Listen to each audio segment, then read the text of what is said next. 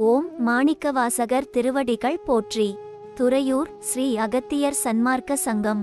சேலம் வள்ளல் ராமலிங்க சுவாமிகள் அன்னதான கூடம் சார்பாக இருபத்தேழு ஒன்று இரண்டாயிரத்து இருபத்து நான்கு சனிக்கிழமை அன்று காலை ஏழு முப்பது மணி அளவில் ஞானியர்களை பூஜித்த அரங்கரின் அருட்பிரசாதமான இட்லி மற்றும் சாம்பார் ஆகியவை குருநாதர் தவத்திரு ஆறுமுக அரங்கமகா தேசிக சுவாமிகள் அவர்களின் நல்லாசியுடன் ராமநாதபுரம் பகுதியில் சுமார் நூறு நபர்களுக்கு சிறப்பான முறையில் அன்னதானம் வழங்கப்பட்டது. இன்றைய அன்னதானத்திற்கு உபயதாரர் மிஸ்டர் இளங்கோ அண்ட் ஃபேமிலி இந்த புண்ணிய தர்மத்திற்கு பொருளுதவி செய்தவர்களும் தொண்டு செய்தவர்களும் உண்டு மகிழ்ந்த அனைவரும் வாழ்வில் எல்லா நலமும் வளமும் பெற்று இன்புற்று வாழ வேண்டும் என்று ஓங்கார குடிலாசானின் திருவடியை பணிந்து பூஜித்து வேண்டிக் கொள்கிறோம் மேலும் இது போன்ற தான தரும பணிகளில் தங்களால் இயன்ற பொருளுதவி செய்ய